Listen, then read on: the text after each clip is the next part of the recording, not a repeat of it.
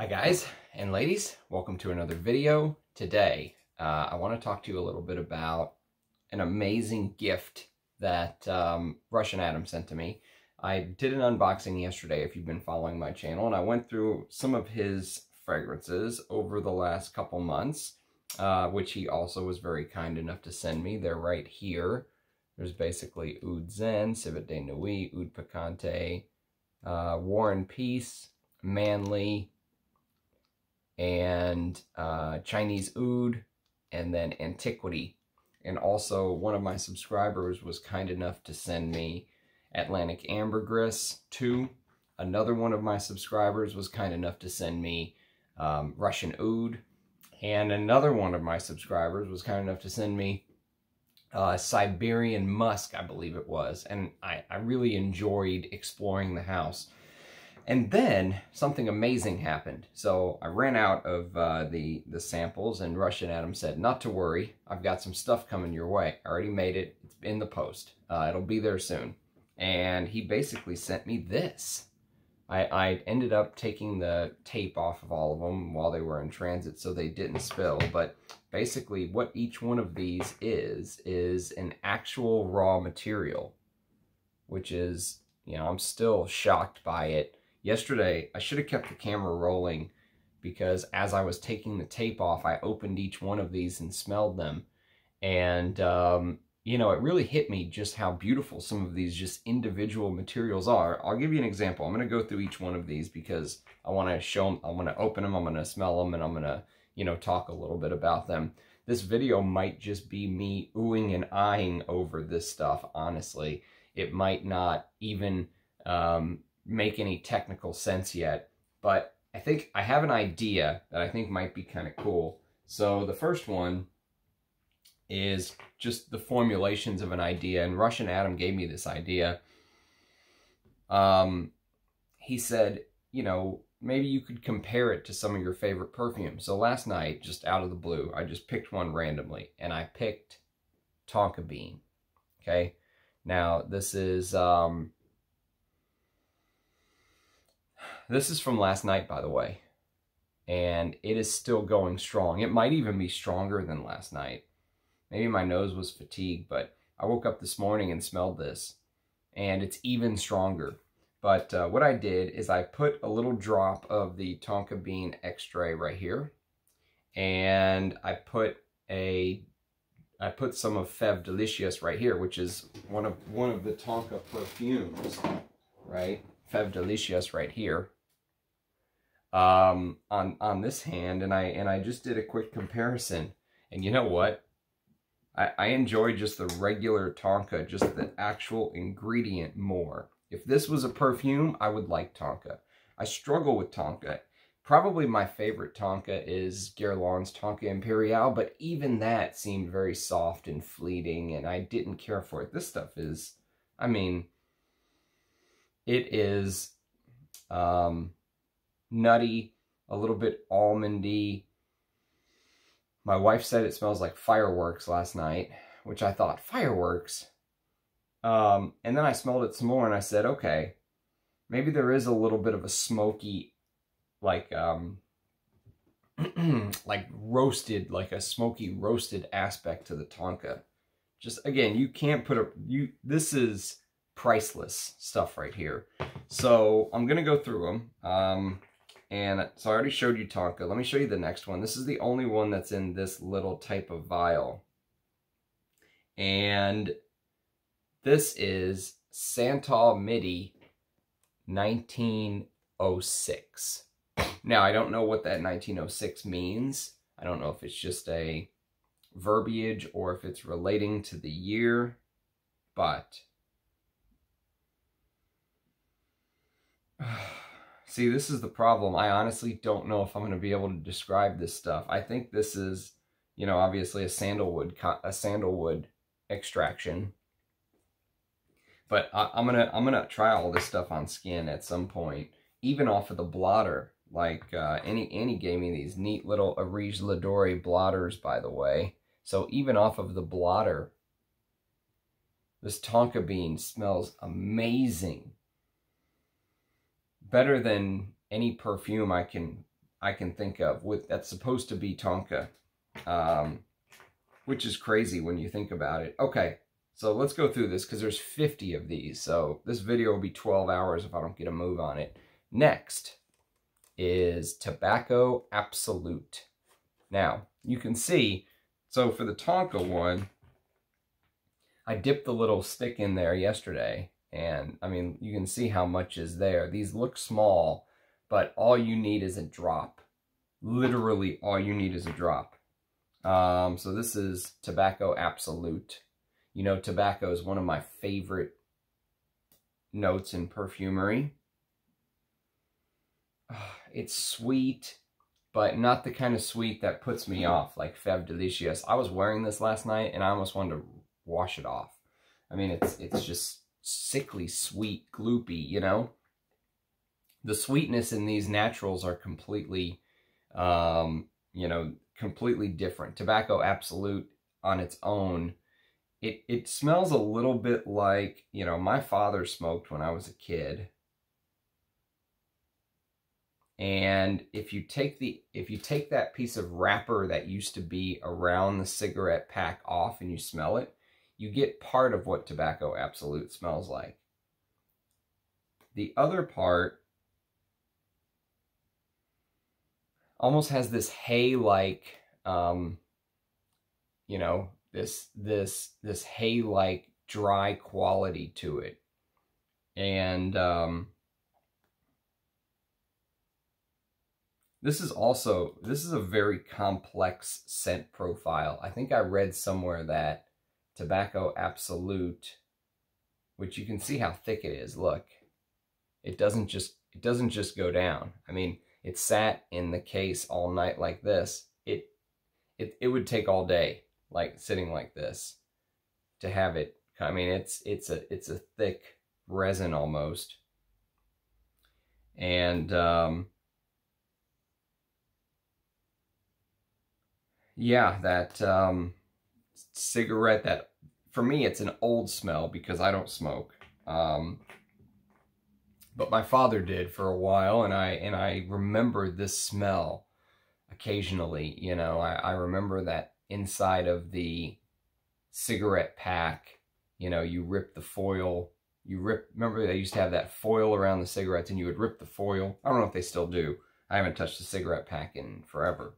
Um, but all right, let's go to the next one. So this is really interesting because, let me put these in somewhat order here. Okay, so this one is, this one is labdanum resin. And I told you this is the one, this is basically the one ingredient I have some experience with because I was able to buy long ago, I wish I could find it, labdanum that came like with these pieces of paper, these pieces of plastic around it, and you would pull the plastic back and you would smell the labdanum. Um, and, oh God, here, let me show you this when you open it, by the way. So this has been sitting all night upside down like this, and look, look at the gunk that's still stuck on the side. It's not like it all goes to the bottom, but look at when you open this. Look, let me see if I can show this. Look at that. You see that? You see how sticky it is on the opening? That is what labdanum is like. It'll stick to you, but it smells absolutely... Oh, God. I mean, this is one of my favorite smells in perfumery. There are so many perfumes that if they just smelled like this, I would wear I would wear it and love it. And I love labdanum. Tom Ford Sahara Noir. I mentioned Chanel's Le Lion, the ultimate labdanum fragrance for me. Roja's Haute Luxe, which is like $3,500 a bottle. It's it's obscene. You know, he should he should be ashamed of himself charging that. Um, it is a good fragrance. I would love a bottle of it, but I'll never pay anywhere. I just I just won't. Um, and but but there's some labdanum heavy fragrances that I like. Like I mentioned Sahara Noir from Tom Ford. I tested the Zoo Everlasting. Rachel sent me a sample of that, and I really enjoyed that. That's a labdanum fragrance with Narcissus Absolute in it. So interesting combination. But Um, just the raw material in and of itself, the resin is absolutely beautiful. Uh, let me see if I can show you the opening again. I just, look at this. It's unbelievable. And it never ends either. It just, it just constantly stays sticky. See that? Like spider webs. It's so thick and heavy. Um, it's just, it's a holy, it's a holy resin for me. You know, you think about men and women using that um, hundreds, thousands of years back into history. It's it's mind blowing. Like I said, I had a little bit of a moment yesterday smelling some of these. Um, I don't know if it was the mixture of, you know, the act of kindness that Russian Adam showed to me, or whether it was actually some of these ingredients. But I was sitting here like, man, it really hit me yesterday. Um, all right, so the next one is Labdanum Absolute. Now look at the color here. It's completely different than the resin. Now it's still thick and gloopy. Sorry about the camera work, by the way. This is not going to be a professional photo by or photo shoot or whatever. It's not as sticky. See that? It smells like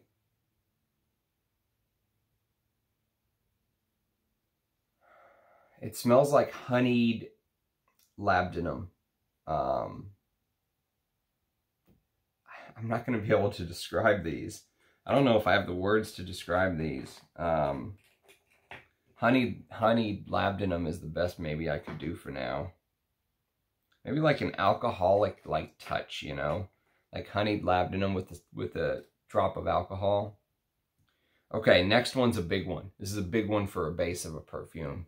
This is benzoin. Sultan Pasha got on a um, video with the Wafts from the Lofts guys, and he he multiple times during that video he mentioned the base of his fragrances are benzoin heavy, and I can completely see why. Uh, I mean, do you even need a base other than benzoin? It's, it's, now this is also thick, but look, it's not as thick. It can move a little bit. See that?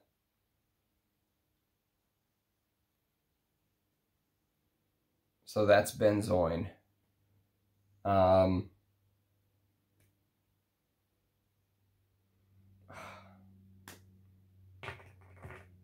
next. Now this is one of the only ones that actually leaked and there's there's basically nothing left, unfortunately, but I can still smell it. It's um, Vanilla Absolute.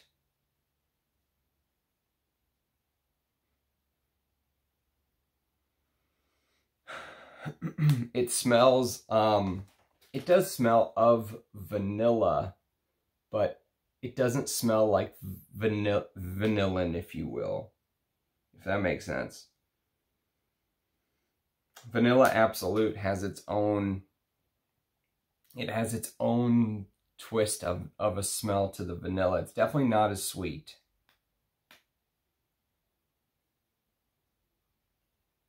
Um, almost like you're smelling a straight, you know, vanilla pod, you know, that kind of thing.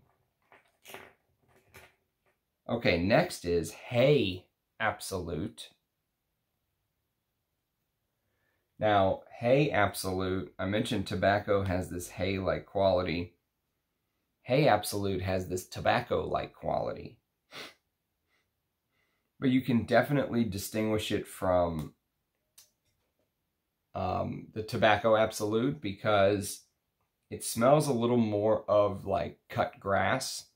Um, if you've ever been on like a hay, like a tractor ride with, with hay, you know, in, in the back or something, and it gives off that very fall. It's a very fall smell to me for some reason. But there's some hay absolute or hay notes in some of my favorite fragrances, like Chergui, for example. That has tobacco and hay, and that's one of my favorite tobacco fragrances. And here you can kind of see they're playing off of each other. Um, you know, at least I can see it with the materials right in front of me. Maybe just smelling Chergui, I would have thought this smell was all tobacco, but now I know it's also hay. Amazing.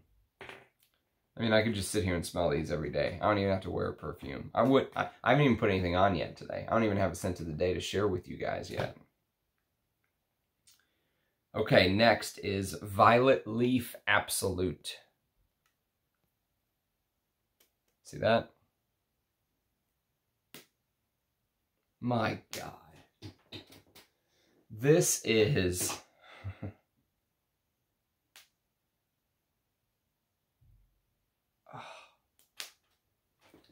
it's, um, it's almost like sticking your head in a, you know when you're done mowing the lawn and you have those clippings?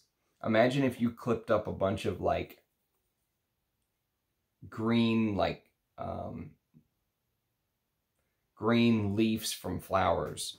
Like, um, you know, if you had, if you had, if you just took, rip the flower, rip the leaves off of roses and violets and, and all that stuff, and maybe threw some weeds in there for good measure. It almost has this celery-like vibe. Um, very, very, very green. Um, and you can see it's also pretty thick. The Absolute. But if you're expecting this to smell exactly like Fahrenheit or Geoffrey Beene's um, gray flannel, wow. Okay, next is highly aged patchouli. I can smell this just, just from picking it up. I can smell this. It is so powerful.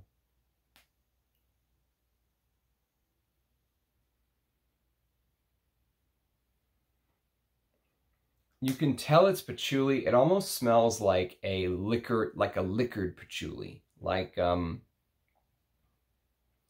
like you took two ingredients to begin a perfume and one was like a liquor note, like a rum or a cognac, and one was patchouli.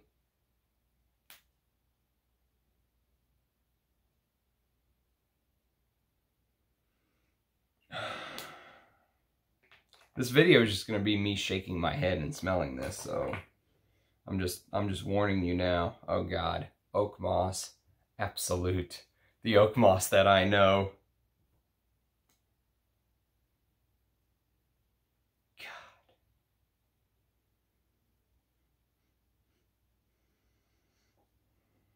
I mean, it smells like you're in like a mossy tunnel, like, um, it smells like you are in a underground hot like a like a hobbit's hovel or something and there's moss growing all on the walls. That's what this smells like. And look at the color. Look how black that is. Unbelievable. Outrageous. Oak Moss Absolute. Next, Cacao Absolute.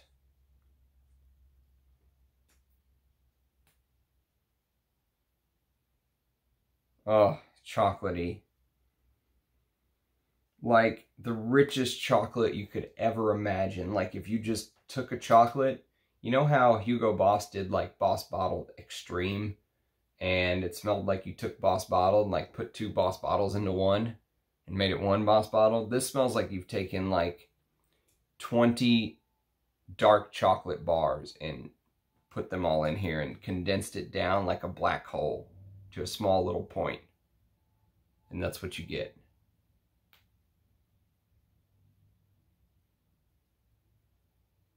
It's so rich. Unbelievable. And look how thick it is. I mean, it's stuck to the wall still after after sitting upright all night. This is not coming down. Grav this does not care about gravity. Next.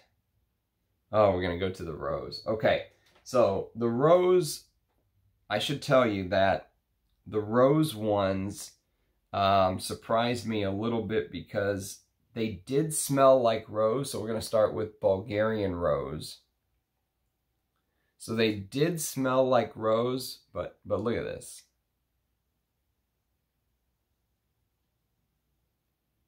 They smelled like rose, but they didn't. They almost smell like an artichoke. That's what it smells like to me. It smells like an artichoke. Like you ground up artichoke and put it in here, and, and that's what the Rose Absolute smells like. Bulgarian Rose Absolute. There is a hint of rose in the background. You know what it's like? It's like you have taken an artichoke um, leaf, okay? You know how you eat the artichoke and you pull the meat off and you have, and you're left with that leaf? And when you pull the meat off, sometimes you get the smell of the artichoke even more. And then you dip it, imagine that you dip that artichoke leaf in rose water. And that's what Bulgarian Rose Absolute smells like. Oh, God.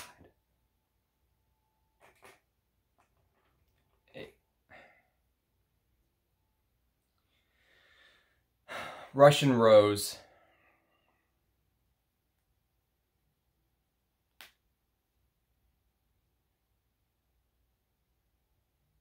Now this tones down that artichoke smell big time. This smells much more of other things than just artichoke.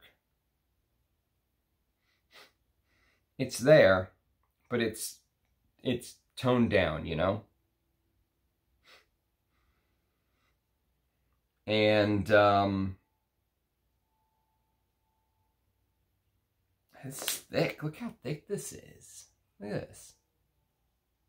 Ah, there it goes.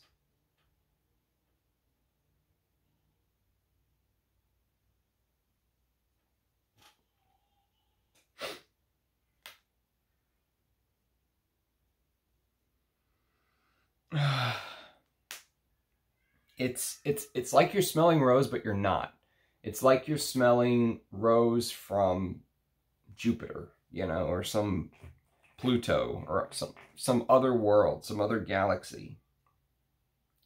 Taif rose, one of my favorite types of rose because it has this waxy lemoniness that I really love. One of my favorite rose fragrances. Uh, I put it away.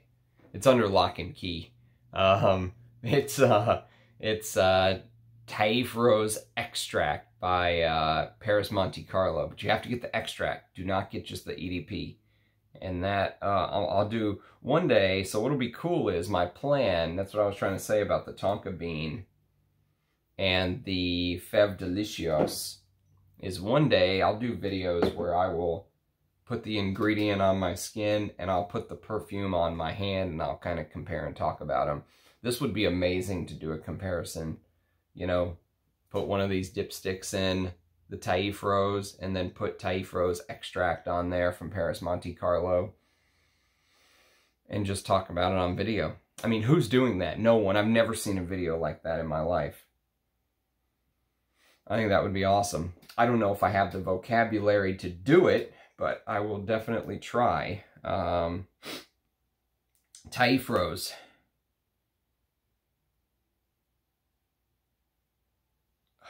That's just heavenly. I I don't I don't know what to say. I mean, it's just heavenly. It um it's it's the smell of heaven. Rose Absolute.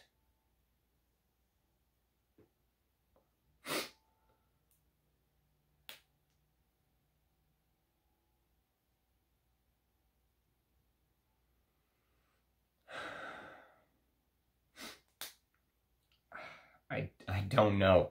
I mean, it has this, it does have that artichoke smell underneath. Ah, excuse me, whilst I hydrate. Don't worry, the water's not pink here in Texas.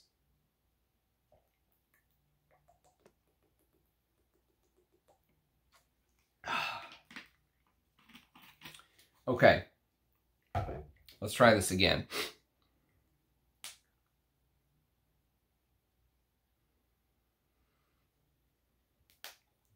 It almost smells like you're smelling the rose, but you're also smelling the ground and the soil, you know, like you're getting leaves, you're getting petals, you're getting flowers, like you're like you're you're photoshopping a rose into existence from an absolute. Like you're 3D printing a rose. That's Rose Absolute. Next, Iran Rose. This is special.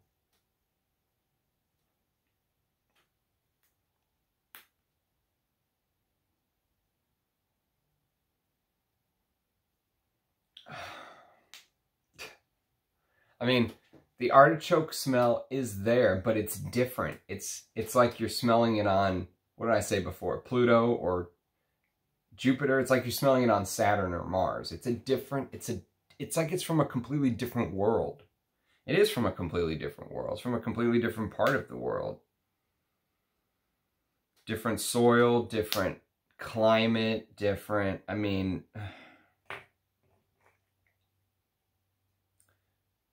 All right, so this is the other one that I think leaked a little bit. There's a tiny little drop left. This is Indian Pink Rose.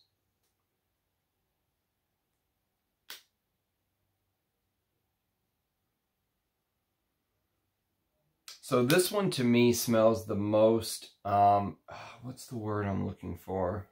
Not turpentine, but like maybe turpentine like quality. It does have that So again, it has the artichoke green leaf smell, but then it also has this um, almost like, I had the word and then I lost it. it it's almost like it has this, um, this paint thinner quality to it. Indian pink rose. Interesting.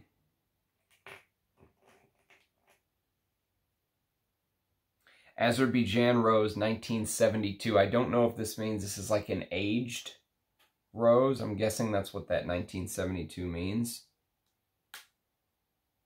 Oh.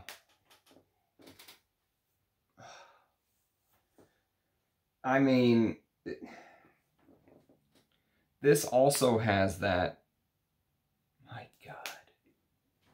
This also has that, um,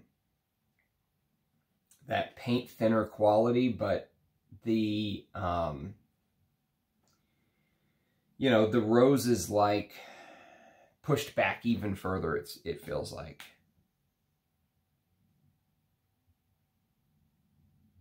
There's something, um, I don't know, there's something like almost holy from now on from from this I get something, I get something like holy from this. Like it's something you'd smell in a church, you know? That kind of thing. Interesting. This is Indian Red Rose.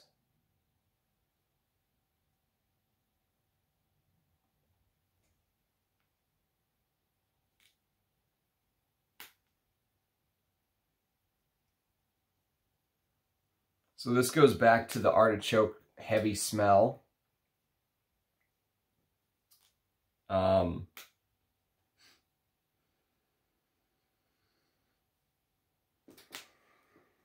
you ever smell a rose, like, you ever put your nose into a rose flower, like, not just kind of gently sniff it, but stick your face into a rose flower, you know?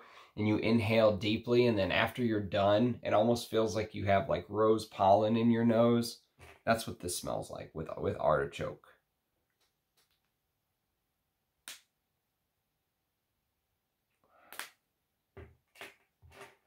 Okay, first one down. This is the baby one.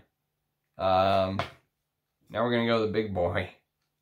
So we're 30 minutes in. This is to be over an hour. Um, is there a side I want to start on? Does it matter? Okay, yes, let's let's start here. Okay, next we have Vintage Deer Musk Tincture. Now you can see on the bottom, there's there's some built up sediment. Come on, baby, focus. See that? And the musks, uh, out of all of these, because I smelled everything yesterday, the most beautiful were like the flowers, the patchouli. Those, those really moved me. The oud really moved me. The musks, I hated. I absolutely despised smelling the musks yesterday. I'm going to do it again for you guys, but this isn't as bad as the synthetic. It's the synthetic musks that I really hated smelling straight. They they smell awful. Um, vintage deer musk tincture. This smells slightly sweet. Um,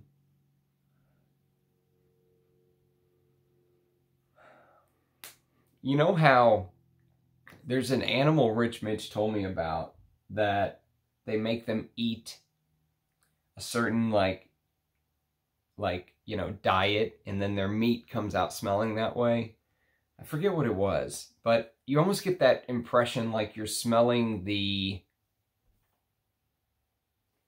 like you're smelling the um like you are smelling deer musk absolutely but you're also smelling like the like the earthiness that was on the ground in the forest that the deer was foraging for. You know, like you get that, you get that, um, that mixture of the musk, but also some earthy qualities, some, maybe some nuts on the ground or roots or whatever the deer was foraging for. It's, it's interesting. That one's at least interesting. Okay. I think this says vintage tincture, castoreum vanilla beans, and orris. I think that's what that says. Castoreum, vanilla beans, and orris. And it says vintage tincture right here.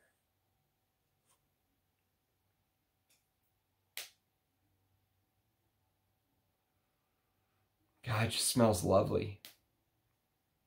You guys know I love animalics.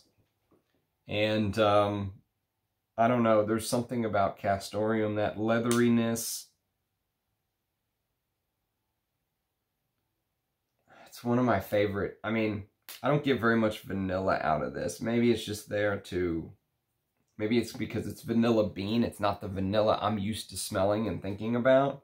Um, wait till we get to the real Orris in here. That is one of the most beautiful Okay, here we go. We get into the crazy ones. USA skunk oil. Now, I have a perfume that has skunk oil, and it was sitting right here for the longest time, and I put it back under lock and key, which I will do from sometimes. I'll look at this and go, wait a minute, I don't want you here. Go under lock and key. Uh, be safe, just in case. Um, and I moved it, but it's called, what's it called? It's called um, Fiona. Fiona is the name of the perfume by, um, God, I can't think of the house all of a sudden. It's that crazy name house. Let me look it up.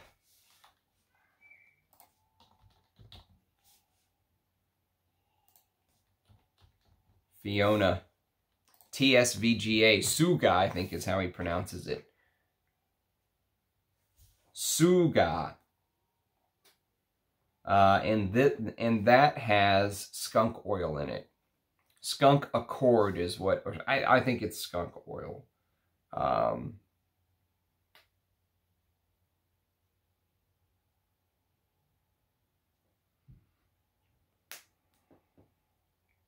it, um, it does smell somewhat sweet, but there's also this underlying like disgusting smell like roadkill smell. I mean living in the usa we get skunks that die on on the road and um, you can smell them if they get run over you know because they release their their their glands or whatever and and it you, you drive by it and you can smell it in the car um and this has this almost like sour sweet combination, but it hits you right in the back of your throat, like the sides of your mouth, like oh, you know, it's, it's, it's rough.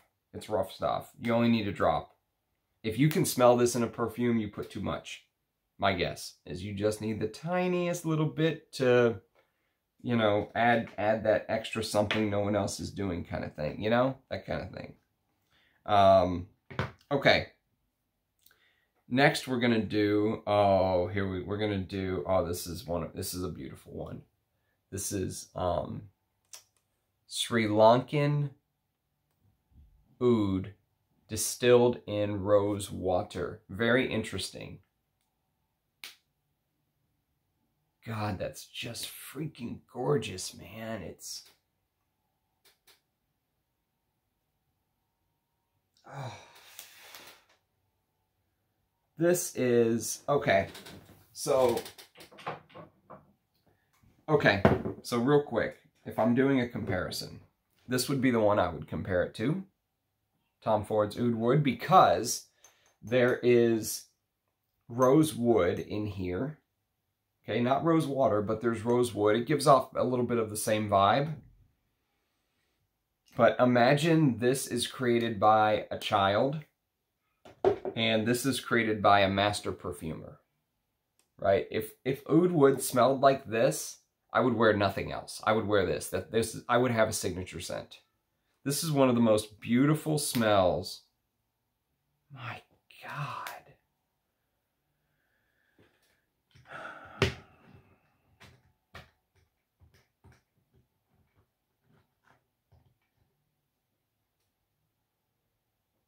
Okay, so this one is Choco Borai, and this has a claim to fame because this is a Thai plantation oud used in Russian oud perfume. So hang on one second. Let me see if I can find it real quick. Do I have it here?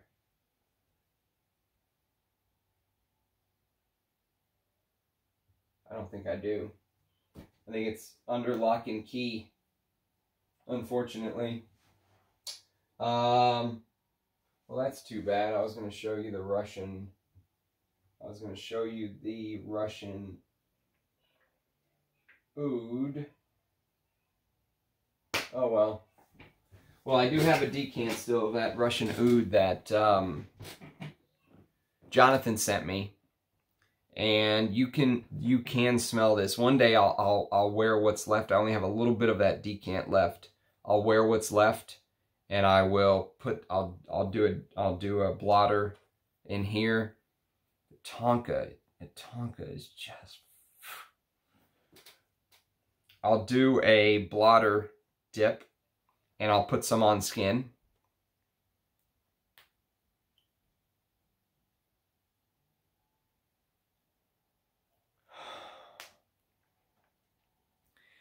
It's like, um, it has that lava-like quality that Russian oud has to it, but it also has that paint thinner, woody that woody paint thinner um, that um,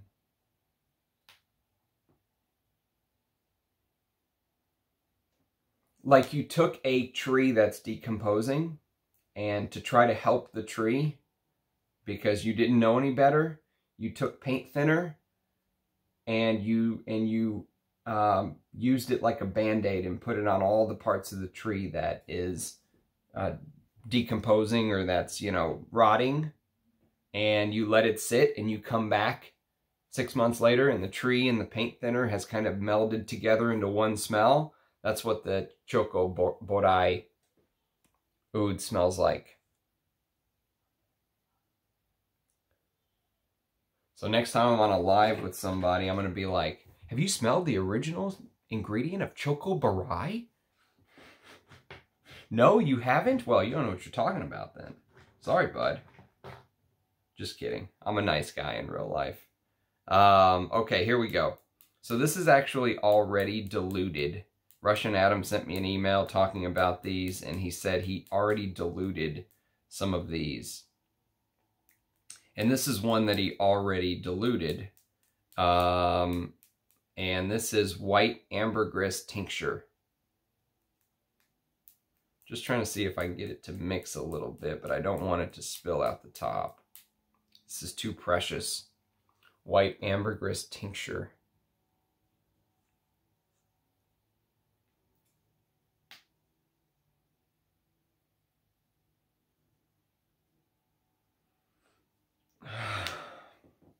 So where skunk oil is like bracingly disgusting, this is animalic, but bracingly beautiful. Like it just hits you, you know, like bam. Um, and again, thanks to Rachel, I do have a decant of Atlantic Ambergris too. So one day what I'll do is I will make this my scent of the day. I'll wear this. I'll, I'll use up this decant and I will wear this on the other hand. Um, just trying to see, you can see on the bottom it's uh, sediment heavy on the bottom. Um,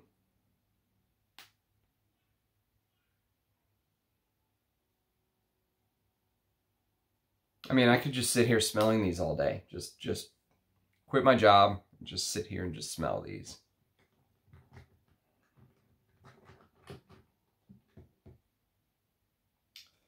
Okay. Next. okay, next. We've got civet tincture. And look, he gave me a lot of it. He knows I like civet. But I I don't know if I like this civet. Okay, this is not the bad one. The bad one is the synthetic civet, which I've said before I love because I uh, we'll get to it when I get to the other, to the synthetic civet. But this one I think is real civet tincture.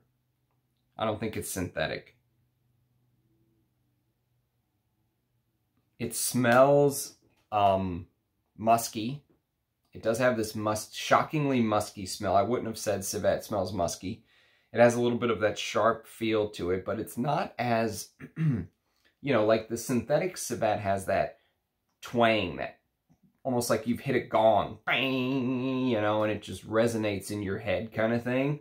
And it's there, and you know it's there. This is a little bit more subtle.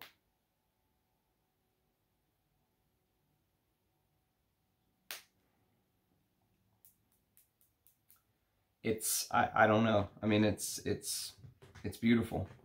There is something beautiful in it about, even though it's, um, even though it's a tough ingredient, there's some beauty in it for sure. Okay, next, um, this is patchouli tincture. Patchouli tincture. By the way, these patchoulis, um, my God. If you like fragrances like, um, like if your holy grail is this, L'Instant de Guerlain, Eau Extreme, this is patchouli and cacao, L'Instant de Guerlain Eau Extreme, with some other things thrown in. There's a tea note in there, you know, perfumery, good perfumery. Probably, this is probably the last of the great Guerlains. Even though Jean-Paul Guerlain didn't do this, his fingerprints are all over it because of heritage. You would love this. If you like L'Instant de Guerlain Eau Extreme, this is heaven. This is patchouli. This is a patchouli lover's heaven.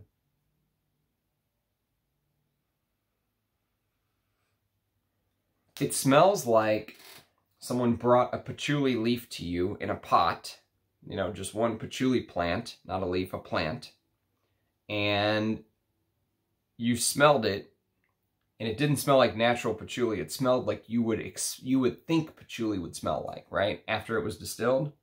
That's what this smells like. It smells exactly how you would expect patchouli to smell.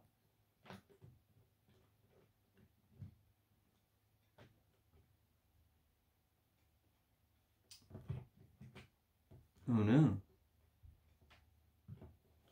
All right, hang on one moment.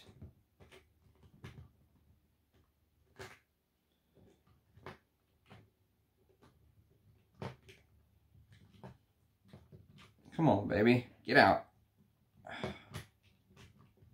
Can't get this one out. It doesn't want to come out. Okay, here you go. Ah, this is the other one that uh, this is the other one that spilled a little bit.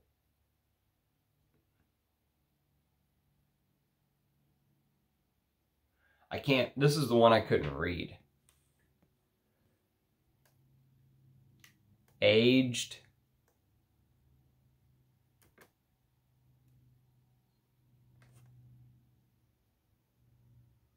It might be aged patchouli. Yeah, I think it's aged patchouli. You know, imagine you took patchouli and put it in like a cast, like a, like, uh, like, like they age like uh, cognac and stuff in, in oak barrels or whiskey. That's what you get here. And unfortunately, there's only the tiniest little drop, but I can still smell its beauty.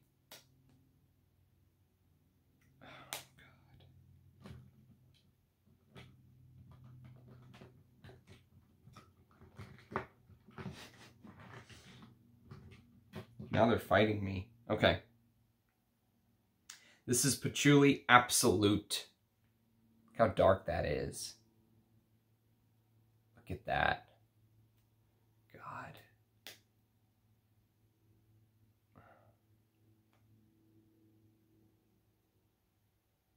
It smells like you blended patchouli and spinach. Um,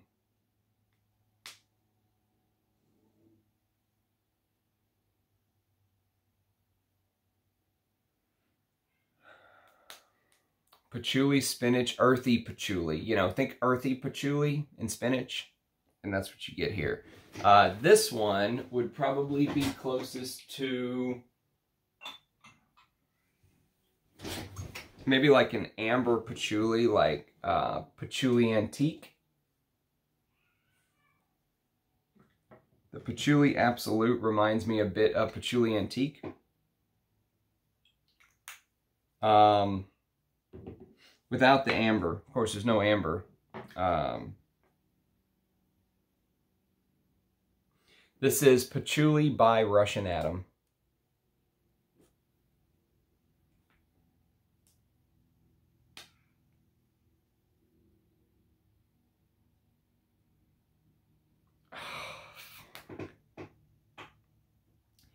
It smells like um, It smells more like oud with patchouli, if you will, if that makes sense. Like it smells like you're smelling like a, like you're smelling a oud with a, with a touch of patchouli.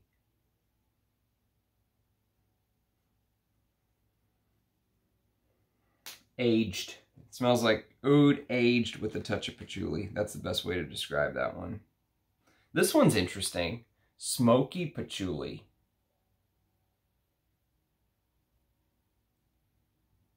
Patchouli's out there smoking. So this smells like um I don't know how to say this without sounding a little rude to the sample.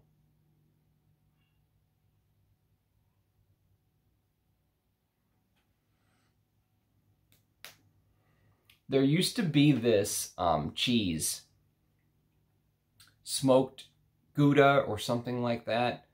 Imagine the smoked quality you get from that smoked cheese and apply it to the patchouli. And that's kind of what you get here. Like we used to have this type of cheese on New Year's Eve that my mother would buy when I was younger and we would do like cheese and crackers and shrimp on New Year's Eve. It was like a tradition. And um, that's what the smoke in this, don't think smoke like incense.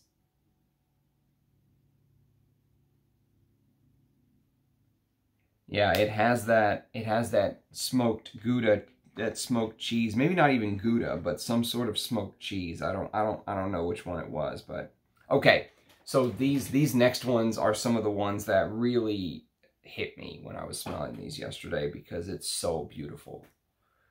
And I would not have expected this, but I I really love this. The florals are, are what maybe hit me the hardest. The oud I was kind of expecting, even though I love the oud, and I think I'll enjoy wearing the oud. I'm going to put some real drops on um, pretty soon. Maybe not today, but soon. Uh, but these are the ones that shocked me. I wasn't ready for this. This is Jasmine grandiflor grandiflorum. Jasmine grandiflorum. And my God.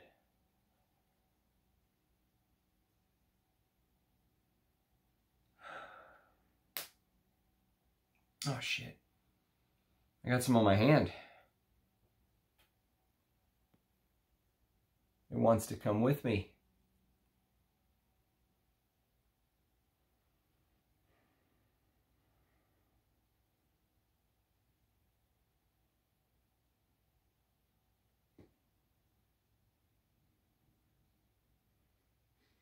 Oh. So I accidentally got some on my hand and I just put the tiniest drop. You might not even be able to see it. You see that? The tiniest drop. And it smells absolutely... My God. Rich, if you were smelling this right now, I know you don't like florals, but Rich Mitch, I know you don't like jasmine. If you were smelling this, you would love jasmine, I'm telling you. It's like no jasmine I've ever smelled ever. Outside of maybe, I'm trying to think back, maybe like the time that my parents took me to the botanical gardens when I was a little kid, you know. That might be the last time my brain remembers smelling jasmine this beautiful.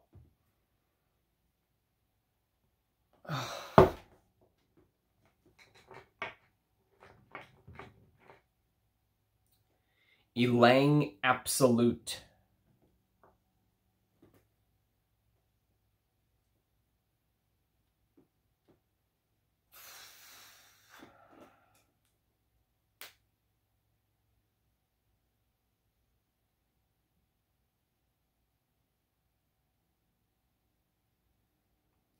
Definitely gives off that yellow floral vibe. Um, but this is, again, like no ylang I don't think I've ever smelled. This is, you know, most ylang ylang comes off as that sickly sweet yellow floral thing that really puts me off sometimes.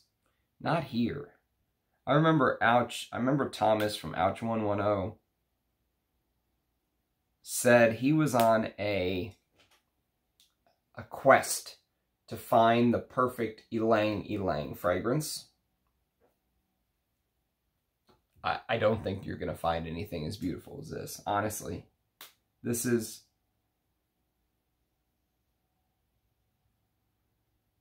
There is a little bit of that greenness in there too, like you're smelling the flower, but you're also smelling the leaves, like you're smelling the, the stem, the leaves with the flower. But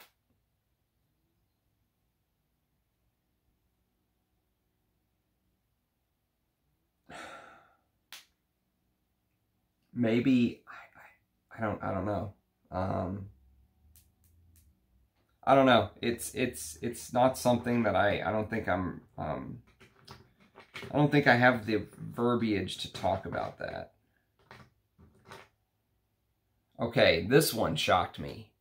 This is dark tuberose.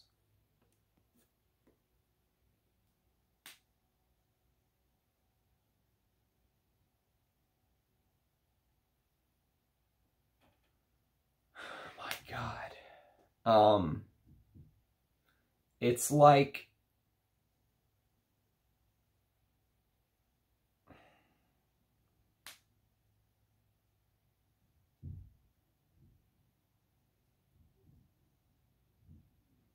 it's so narcotic. I just don't I don't know how to describe it. I I don't know. I don't know how to describe this.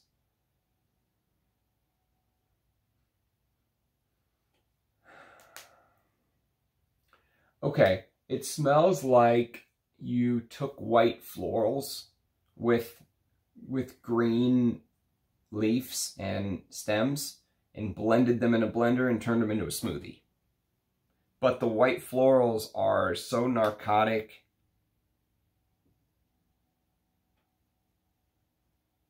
It's like, it's like, it's, it's what you would want if you wanted to, you know, make a bee land on you. You would put this on kind of thing, you know. They would think, they would think you're a white floral. Okay, next, this one. Okay. So the Jasmine Grandiflora is beautiful. And I did get some on my hand accidentally, so now I have some on my wrist. But this is the one that made me go, wow, what in the hell? Um, this is Jasmine Sambac. This one, Jasmine Sambac. My God.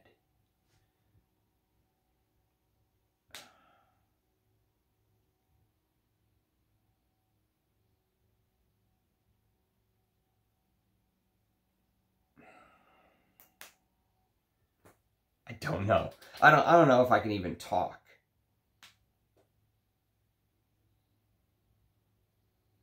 I was not expecting this. Whatever this is, I, I was not expecting it. I if if somebody can describe this in words in English without blubbering like a child, like a more like a like a you know, like a blubbering idiot, um, please let me know. I I I'm at a complete loss.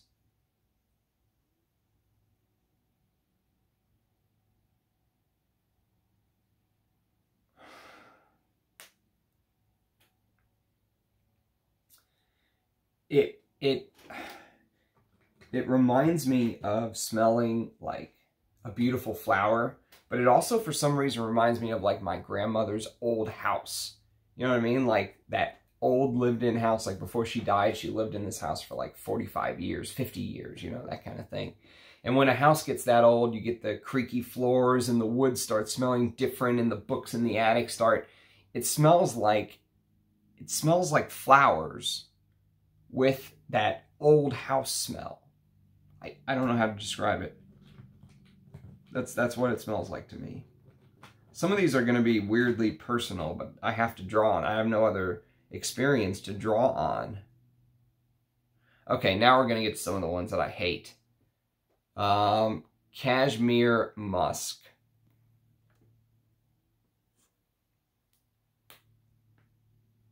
Okay, this is not the one I hate. Um, definitely musky.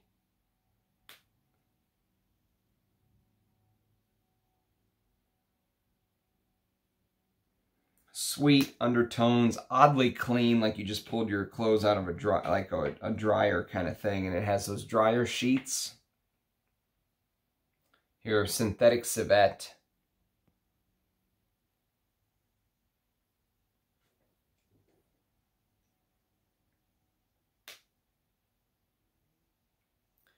I don't like that anywhere near as much as I like it in the perfume. So the one that I'm thinking of, obviously Kouros, which is under lock and key, but this is Furyo by Jacques Bogart.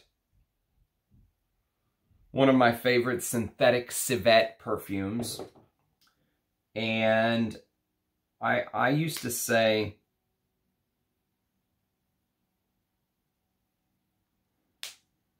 I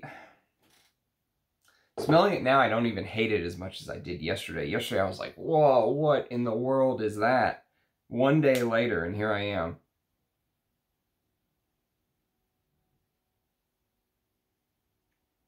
I can't say I hate it. Like, I, I'm actually starting to like it. One day, that's all it took. One freaking day.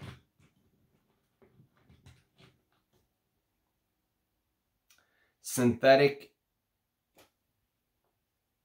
either D musk, synthetic deer musk, I guess.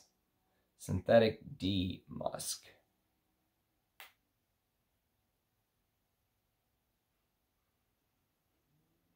You know, there's some synthetic musk fragrances that I have, like, um, Here we go. I've shown this one before. This is, um, Musk Kublai Khan in the vintage Palais Royal presentation in the bell jar. And I struggle a little bit with this fragrance. Um,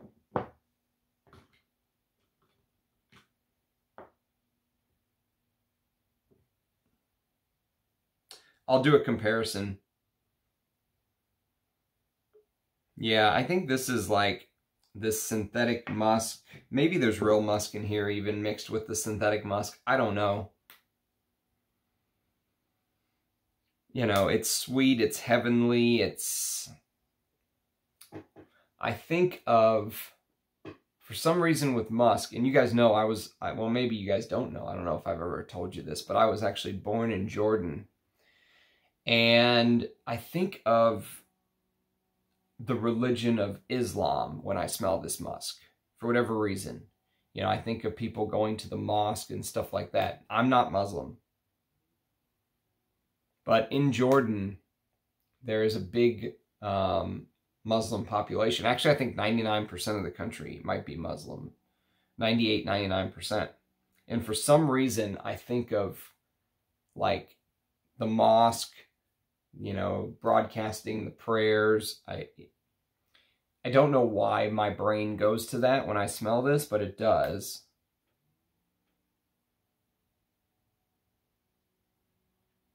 It has a little bit of that. I, don't I don't know why. It, it just it just reminds me of of um now I've been here since I was one, so I can't say oh it's because of my time in Jordan.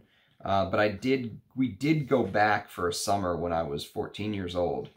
And I really, really enjoyed um, my time there. Really, really enjoyed it.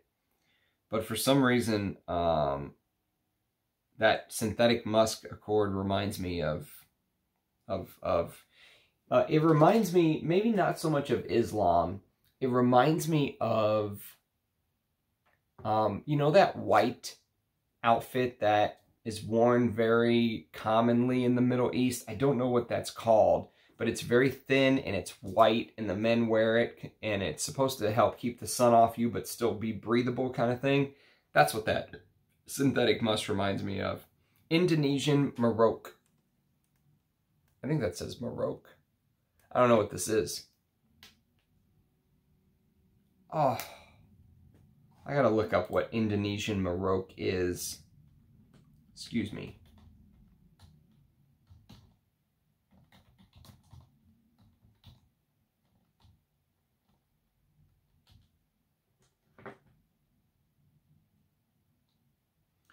M O R O K E. Huh. It doesn't know.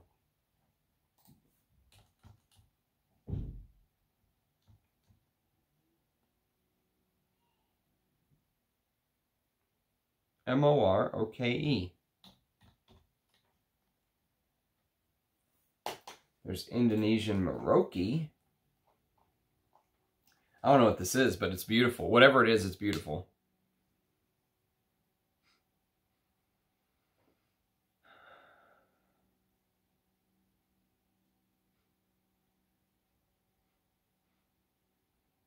It has this um, this cinnamony texture and a little bit of a smell, but, but definitely the cinnamony texture. I need to figure out what that is.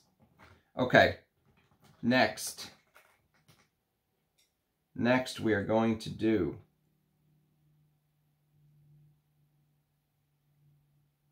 So this is a Chinese plantation oud called Kinam.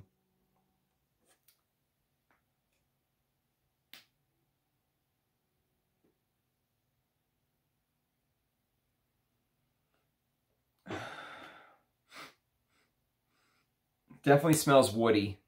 Um, not very rotten, a little bit clean, but um, very enjoyable. I would love to wear this. I would love to wear this as a as a as a oud oil scent.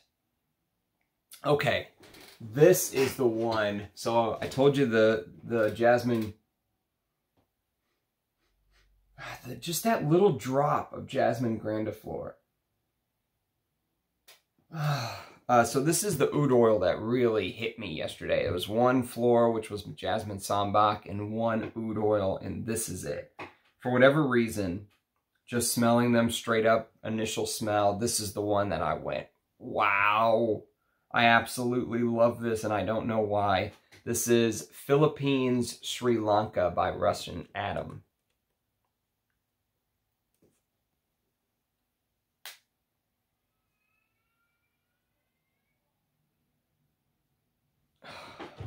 You know what it smells like to me? It smells like you took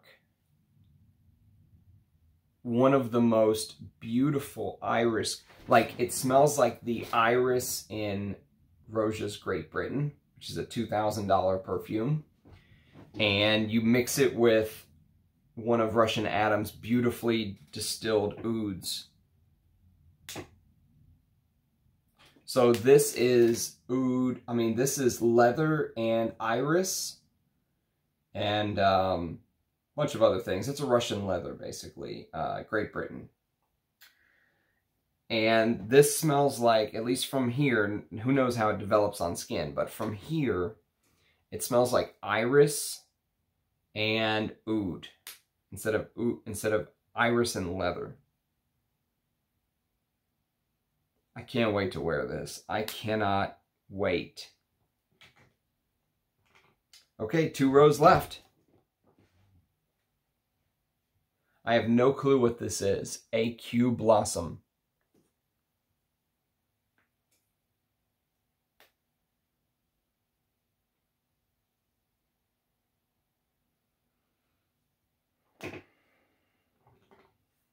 I wish I knew what that was.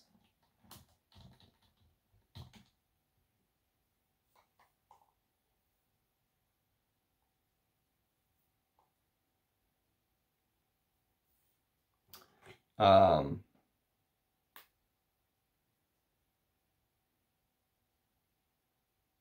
I have no clue what this is, but it gives off this pink floral vibe. Pinky lemonade-like smell. This is Indian Santal. Now, this, I think, um, don't quote me on this, but I think this is one of his Russian perfumes from his personal collection. Um, and and Russian Adam did a video. By the way, I went and looked up his video. Go to go to the Areej le Doré YouTube channel.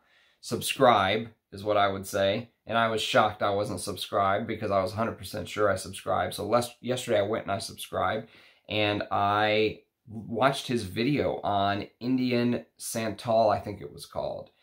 And he went into beautiful detail how the Indian government and the Russian government kind of worked together and Indians sent Russia this gift of, you know, tons of this beautiful, hard to find, rare sandalwood. I think he even said there's goat hair tincture in this, but then he said the base is loads of ambergris, real ambergris um, that they used to use back then in these perfumes. And I can't wait to, to experience this. If this is what this is, and I think it is, I would highly encourage you go take 20 minutes of your day and go watch that Russian Adam video. It is, um, it's good stuff. It really shows what a perfume lover he is too. This is Bengal Santal. I'm guessing this is Bengal Sandalwood how thick it is. Look at this.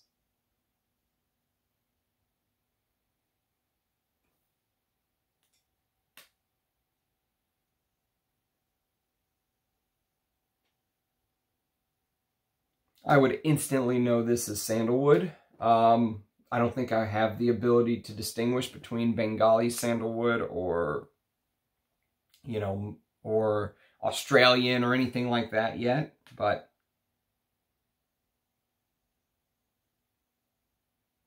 It's such a beautiful, it's such a beautiful scent. I just wore Bois des Îles as my scent of the day, and it's back under lock and key. I kept it here for a little bit, and then I, some of the ones that I really like, I moved to a secure location. They get VIP access. Um, but I wore that whenever I had a big meeting with the bosses, bosses, bosses, boss the other day. And, you know, I wanted to wear something reserved but beautiful, and I went for Bois des Îles which is my current favorite sandalwood fragrance in EDT. I've never smelled the EDP. But sandalwood is such a relaxing, like, you know, you could be going a million miles an hour and someone puts some sandalwood on your skin and it just calms you, just melts you, you know. Your voice goes down an octave. It just, it's that kind of thing, you know, for me. Okay, this is Indonesian san sandal. Indonesian sandalwood.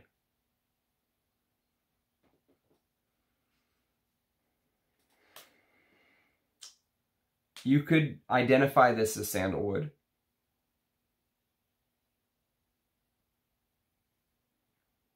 Um, so this Bengal sandalwood smells like natural sandalwood to me. This one smells almost like it's a synthetic sandalwood. I know it's not, but it has that smell to it, like you're smelling Javanol or something.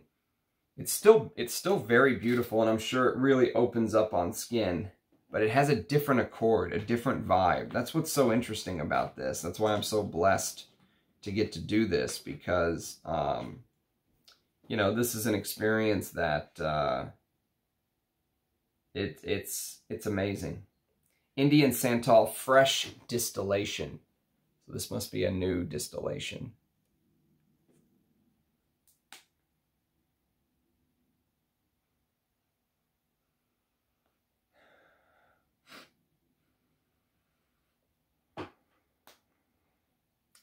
I think you would still be able to identify this as sandalwood, obviously.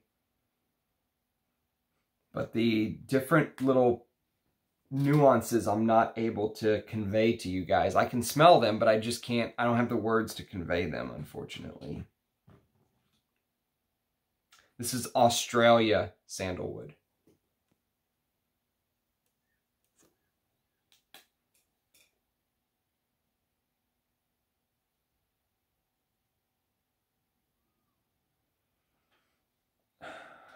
So this is what they started using, this Australian sandalwood, once Mysore sandalwood got really, you know, harvested to the point of extinction where the Indian government had to step in and say, hey, if we don't stop this, there's not going to be any Mysore sandalwood left on Earth.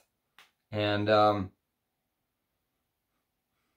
so they went to Australia and they and they used this, and I think I think that this is the sandalwood. If I had to do a comparison video with Australian sandalwood, I would probably compare it with something like Santal Royal. I think they use this Australian brand of sandalwood in here. I'm not 100% sure. Um,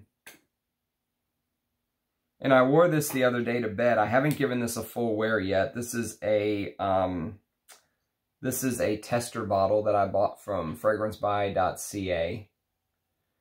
And, you know, with the prices going up, I got a good deal. I figured, what the heck? People I trust like Eugene say they don't mind this now. He used to hate this, so I figured I want to try it. I see why he hates it. It's not his cup of tea where it's light, fine French perfumery. This is heavy, in-your-face, Middle Eastern, scratchy, but you can sense the Australian sandalwood in here, I think. But you really have to wait hours for it to come out. When you first spray, you don't get it immediately. You get that rose and synthetic screechy oud and stuff like that, so... Okay, next...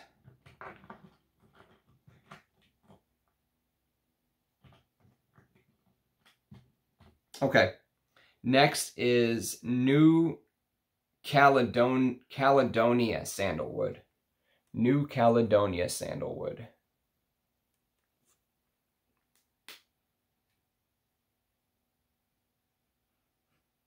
Yeah, same thing. I mean, I, I, I don't have the...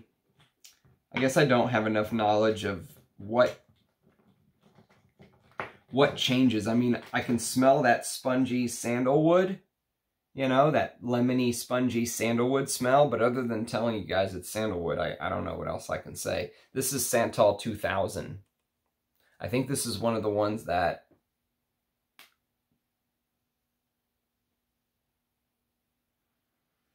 maybe on skin they'll open up more, but other than saying it's uh it's uh you know there is a touch of a floral element to this one. But, okay, next. Next we have, oh, this one I enjoyed too. Carnation Absolute. So I've always said I liked carnations. You know, let's see, do I have carnation fragrances here? Um, I was going to grab Habit Rouge. I don't. I don't have Habit Rouge here. That's okay. Um, Carnation Absolute. It smells so green. You know, the absolutes smell like you took the entire flower and just put it in a wood mulcher and let it get mixed in with like the mulch and stuff that the flower was grow uh, was growing in. And that's what you get. Carnation Absolute. Stunning stuff. Okay, this is also, this is probably my third favorite. My, my three absolute favorites so far is this Phil Philippine Sri Lanka by Russian Adam is my favorite and then probably the Jasmine Sambac.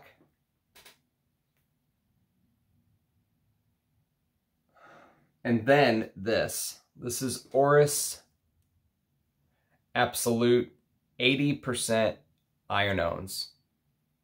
Irons. Um,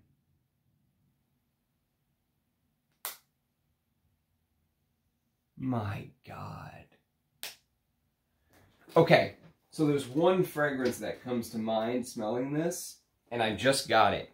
And I'm very glad I did. And some people said, oh, it's the best iris fragrance ever. And I went, yeah, okay, sure. No, it is probably one of the best iris fragrances I've ever smelled. Now, I don't think it's going to be my favorite to wear. I think Dior Homme, the Silver Stem from 2005, is still my favorite.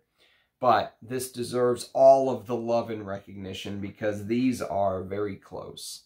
This is Hermes Hiris. Cold iris. So Dior Homme, you could describe it as maybe being like a little bit warm. You know, it's it's it's a Jacques Polge creation. It's beautiful. This is a cold iris. You get this carroty, like vegetal smell in the opening.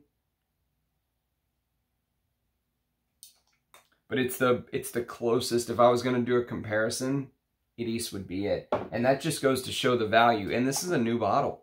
This is not a vintage. I mean, maybe it's somewhat of a vintage. I don't know. EDAAP. 100 mil. But this is not, this is the Jean-Claude Ellena version, not the original Olivier Giacobetti in the blue bottle, right? Um, and it's just the Orris Absolute. The Orris Absolute. This is so precious. My God.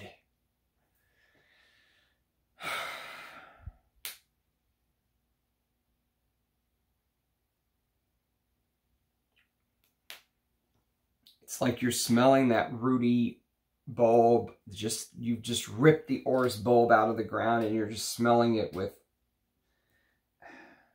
And, and, and you get, it's, it's, it, I love iris. I'm a huge iris lover smelling the original like that, the actual Orris Absolute is a gift. It's a gift.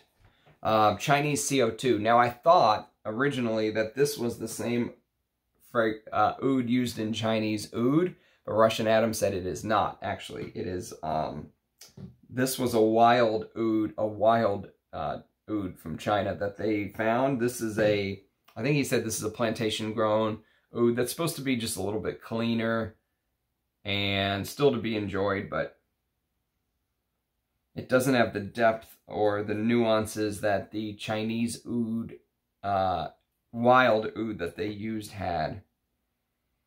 But even with that, okay, even saying all that, even knowing it's supposed to be a cleaner version, let's say, this is absolutely stunning. I mean, putting a drop of this real oud oil on, uh, and you compare it to like what I wore yesterday, which was, look at this. It's thick stuff. You compare what I wore yesterday, which was Spirit of Dubai's Oud, and, I mean,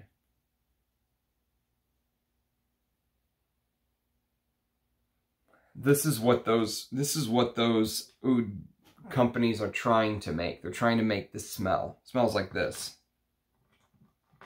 The oud dipped in rose water, right? Um, you know, it's it's the the only way I can describe the oud dipped in rose water is imagine Areej le Doré did Tom Ford's oud wood. Imagine he did it, not L'Oreal. Okay, this is Sweet Indian.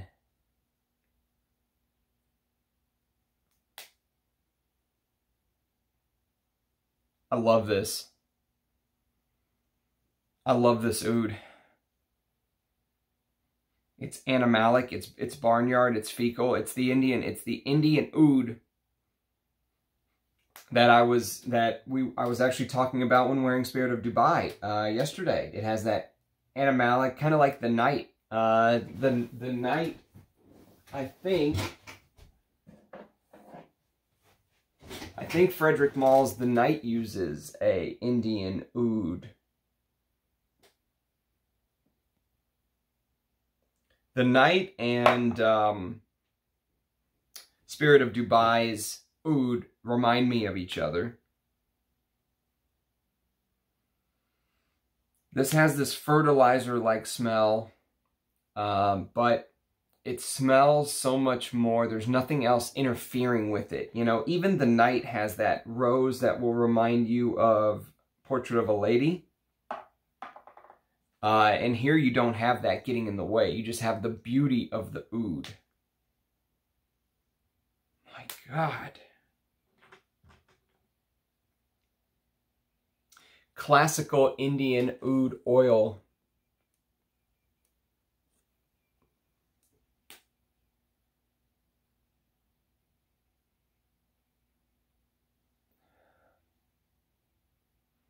This smells like you took that Indian oud profile and added a couple drops of that skunk oil in there.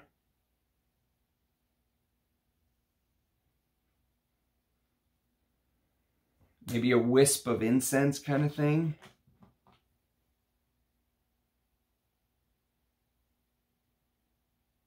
This is Burma Sauvage. I don't know what this is. I'm guessing this is a name of an oud.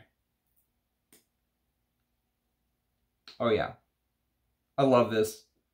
These ouds are just they're they're amazing. They're they're it smells like you're smelling a perfume. You know, like you're smelling a perfume with 300 notes and ingredients. It's so complex. Whatever I end up wearing today is going to be a big letdown compared to smelling all this stuff. Um, this is Philippines.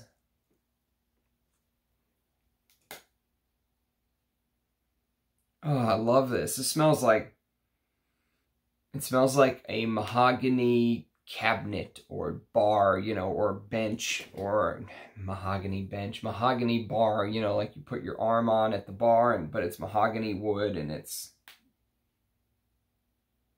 it smells old. It smells like old like old wood. Um you know, in America, if you go to some of the older cities, like on the East Coast that were built a long time ago, some of that wood has that you know, it's been aging hundreds of years type smell. And this one has that. I really like this. I like this. And I in the Philippines was also maybe the a mixture of the Philippines, Sri Lanka that I really love. This is my favorite so far. There's something that really touches me there. Um, this is Sweet Thai.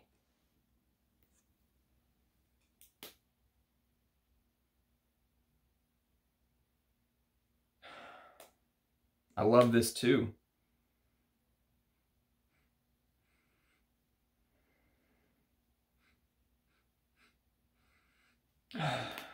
I don't know if I can describe it, but I really like it. Um, it's beautiful stuff. Maybe when I wear it, it'll open up more. This is Cambodia Oud.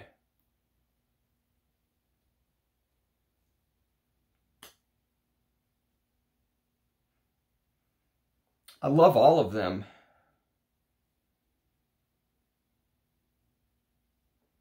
if um, if I was distilling stuff like this, I I would have a hard time letting go. Like these would be like your babies, you know? Like um Wow.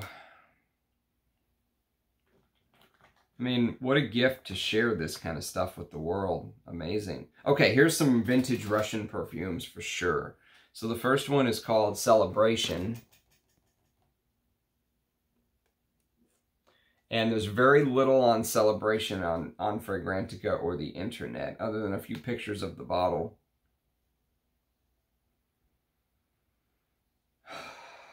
It smells, I can't wait to wear this. I'm going to have to put a few drops on at night, but I don't want to waste it. I want to be very careful with it because I want to do a video for you guys about it. This one, I think there's a little bit more information. There might even be a Fragrantica article on it. It's called Stone Flower. And apparently there was a Russian, maybe like a poem or a book written in the 1930s, 1938, I think, if I remember correctly. And they talked about these mythical flowers on a mountain. Um, and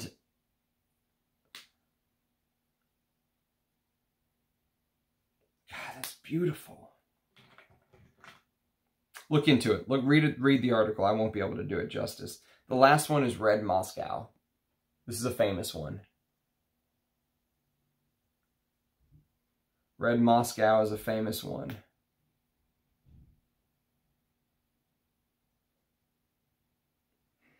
They just smell so high quality, shockingly high quality, you know? Um, okay. That was an hour and a half of me just oohing and eyeing, but I hope you guys have enjoyed this. It's, again, a blessing. I, I, I thanked Russian Adam probably a thousand times already. I sent him an email thanking him. I thanked him in the comments. I'm going to thank him again because he oh he deserves the thanks. It's um really above and beyond, and he's such a humble man. He loves perfume. Um, he um we're someone said in the comments that we're very happy for his success, and I, I could not agree with that more. I am uh, pleased. Um, I am pleased uh, as can be to get to know him and to get to know his perfumes. Uh, it's it's been a joy discovering a house that at first I will say maybe I wrote it off. And this this is partially a story of rebirth because for me I've rediscovered the house through through these offerings. And you know sometimes at night I'll I'll wear a fragrance of the day whatever I'll wear. I'll wear my Amouage I'll wear my Roja I'll wear my Ungaro or whatever it is my Geoffrey Beene and then at the end of the night though I want something more and I'll just come and put like one spray of antiquity on and it just oh you know, the, the complexity, the depth, the ingredients, it's, it's so much more. And so really enjoying, really, really enjoyed this. This is going to give me years of pleasure because I'm going to do comparison videos. Well, I'm at least going to be able to talk about the ingredient themselves, like the Tonka. the Tonka versus Fève Delicious. This Tonka is, this is what Fève Delicious should have been. So there you go. I hope you guys have enjoyed this. Thank you for watching the video and leave a comment below. Let me know what you think.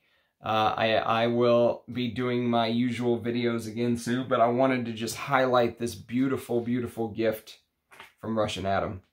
So cheers, thank you, and I'll see you again tomorrow. Bye, guys.